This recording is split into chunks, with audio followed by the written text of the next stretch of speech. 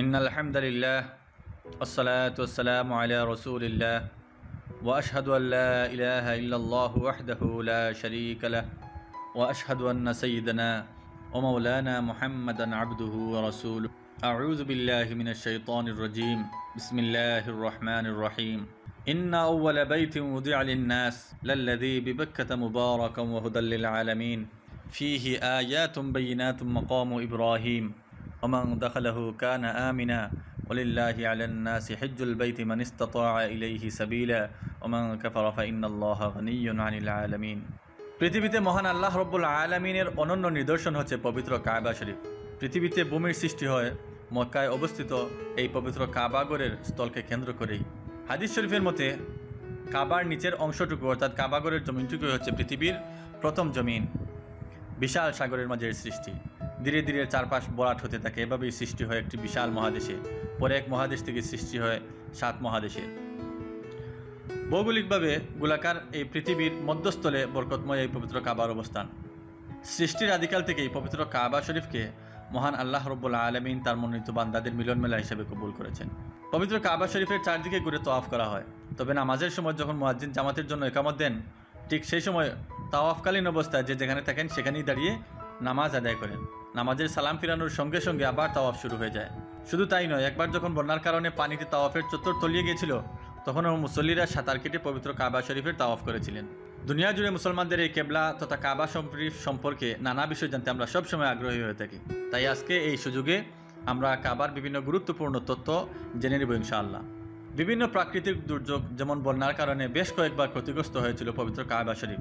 তাই বেশ কয়েকবারই ক্ষতিগ্রস্ত কাবাকে পুনর্নির্মাণ করা হয়েছে। সর্বাধিক নির্ভরযোগ্য ঐতিহাসিক তথ্য মতে, কাবাকে এ পর্যন্ত মোট বারো বার পুনর্নির্মাণ করা হয়েছে। বিভিন্ন বিপর্যয়ের হাত থেকে সংস্কার করতে পবিত্র কাবা শরীফকে সর্বশেষ উনিশশো ছিয়ানব্বই সালে আধুনিক ও শক্তিশালী প্রযুক্তির প্রয়োগের মাধ্যমে সংস্কার করা হয়। পবিত্র কাবা শরীফ নির্মাণ ও পুনর্নির্মাণে বিভিন্ন যুগে হজরত আদম আলি সাল্লাম হজরত ইব্রাহিম আলি সাল্লাম হজরত ইসমাইল আলি সাল্লাম এবং সর্বশেষ নবী হজরত মোহাম্মদ মুসাদ সাল্লাহ আলী সাল্লামও অংশগ্রহণ করেছিলেন। আমাদের অনেকেরই জানা নেই যে যে কাপড় দ্বারা পবিত্র কাবা শরীফকে ডেকে রাখা হয়, তার রং কেন কালো পবিত্র কাবা শরীফকে যে কাপড় দ্বারা ডেকে রাখা হয়, তার নাম হচ্ছে কিসুয়া বা গিলাফ। এই কিসুয়া বা গিলাফ সবসময় কালো ছিল না। প্রথম দিকে জাহরাম গোত্রের শাসনামলে তাদের নিয়ম অনুযায়ী কিসুয়া দ্বারা কাবা শরীফের আচ্ছাদন সর্বপ্রথম শুরু হয়। পরবর্তীতে প্রিয় নবী সাল্লাহ আলহিহাল্লাম ইয়েমিনি সাদা কাপড় দিয়ে পবিত্র কাবাকে ডেকে দেন। বিভিন্ন খলিফাদের আমলে লাল, সাদা, সবুজ রঙের কিসুয়া ব্যবহার করা হতো। আব্বাসীয় খলিফাদের আমলে পবিত্র কাবার কিসুয়া হিসেবে বিভিন্ন রঙের ব্যবহার বন্ধ করে দিয়ে কালো রঙের কিসুয়ার ব্যবহারের সিদ্ধান্ত নেওয়া হয়। তখন থেকেই এই কিসুয়ার জন্য কালো রংটি ব্যবহৃত হয়ে আসছে। নবী হজরত ইব্রাহিম আলী সাল্লামের আমল থেকেই কাবা শরীফ আয়তক্ষেত্র আকৃতির ছিল। ইসলামের আগমনের আগে কুরাইশরা যখন পবিত্র কাবাকে পুনর্নির্মাণ করেন, তখন তহবিলের অভাবে পবিত্র কাবা শরীফের পুরো কাজ সম্পন্ন করতে পারেননি। যে স্থানটি তখন নির্মাণ করতে পারেননি, সেই স্থানটিকে বলা হয় হাতিমে কাবা। এটি কাবারই অংশ। এ কারণে হাতিমে কাবাকে তাওয়াফের অন্তর্ভুক্ত করতে হয়, যা একটি ছোট্ট গোলাকার প্রাচীর দ্বারা চিহ্নিত করে দেওয়া হয়েছে। মূল কাবা শরীফে দুটি দরজা অন্তর্ভুক্ত ছিল, একটি দরজা ছিল প্রবেশের জন্য, অন্যটি বাহির হওয়ার জন্য। এছাড়াও পবিত্র কাবা শরীফের দেয়ালে একটি ছোট জানালা ছিল। বর্তমানে পবিত্র কাবা শরীফে রয়েছে একটি মাত্র দরজা এবং কোনো জানালা নেই। যদিও কাবা শরীফের সাদে ওঠার জন্য ভিতরে একটি দরজা রয়েছে। ভেতরে কি আছে? এই প্রশ্ন অনেকেরই। পবিত্র কাবা শরীফের ভেতরের বৃত্তি মজবুতের জন্য তিনটি ফিলার রয়েছে, যেগুলোর প্রত্যেকটি লিন্টারের সাথে সংযুক্ত রয়েছে। পারফিউম ব্যবহারের জন্য ফিলারের মধ্যে একটি ছোট্ট বাক্স আকৃতির টেবিল রয়েছে।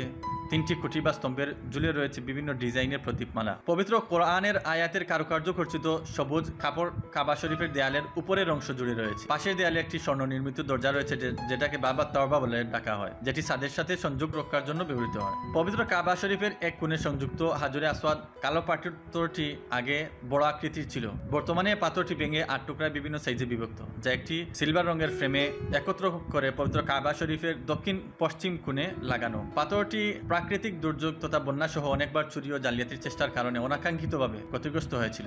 হাজরে আসদের প্রথম সিলভার ফ্রেমটি তৈরি করেছিলেন আবদুল্লাহ বিন জুবাইন। কাবা শরীফের চাবির জিম্মাদার প্রাক ইসলামিক যুগ থেকে এখন পর্যন্ত একটি পরিবারের কাছেই রয়েছে। সম্মানিত এই পরিবারটি হলো বনুতাল হাগুত এই গোত্র গত পনেরো শতাব্দী ধরে এই দায়িত্ব পালন করছে। এটি ওই পরিবারের জ্যেষ্ঠ সদস্যরা তাদের উত্তরাধিকার সূত্রে প্রাপ্ত হন। কাবা শরীফ বছরে দুইবার এর পরিষ্কার পরিচ্ছন্নতার কাজ করা হয়। প্রথমবার করা হয় সাবান মাসে আর দ্বিতীয়বার করা হয় জিলখদ মাসে। এ পরিষ্কার পরিচ্ছন্নতা কার্যক্রম বনুতালহা তথা আল শিবি পরিবারের লোকেরাই করে থাকেন। পবিত্র জমজমের পানি তাফি গোলাপ জল এবং বহু মূল্যমান তৈল দিয়ে একটি পরিষ্কার মিশ্রণ তৈরি করে তা দিয়ে পবিত্র কাবা শরীফ পরিষ্কার করা হয়। পবিত্র নগরী মক্কার গভর্নর এই কার্যক্রমে অংশগ্রহণ করতে বিভিন্ন গণ্যমান্য ব্যক্তিদেরকে আমন্ত্রণ জানান। একটা সময়ে পবিত্র কাবা শরীফের দরজা সবার জন্য মুক্ত ছিল। পৃথিবীর বিভিন্ন প্রান্তের মানুষ এই পবিত্র গড়ে প্রবেশ করে এবাদত বন্দীও করতেন। হজের সময় মুসল্লিরা ইচ্ছা করলে এতে প্রবেশ করতে পারতেন, কিন্তু হাজিদের সংখ্যা বৃদ্ধি পাওয়ায় এই গড়ের নিরাপত্তার জন্যই এখন কেউ ইচ্ছা করলেও ভেতরে যেতে পারেন না। এটা এখন মাঝে মাঝে বিশেষ মেহমানদের জন্য খুলে রাখা হয়। আল্লাহ রবুল্লা আলমিন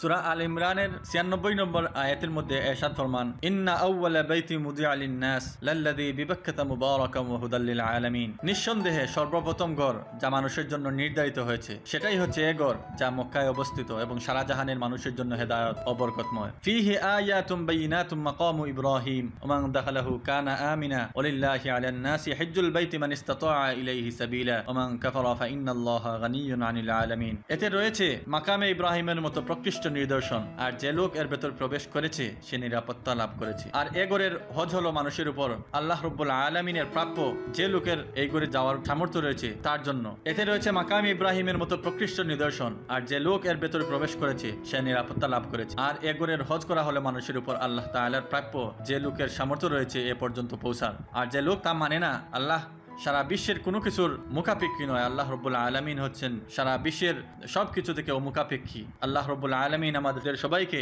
এই পবিত্র গড়ের হজ করার, তাওয়াফ করার, জিয়ারাহ করার আমাদের সবাইকে তৌফিক দান করুন। ও আখির দাওয়ান আলহামদুলিল্লাহ রবিল আলমিন।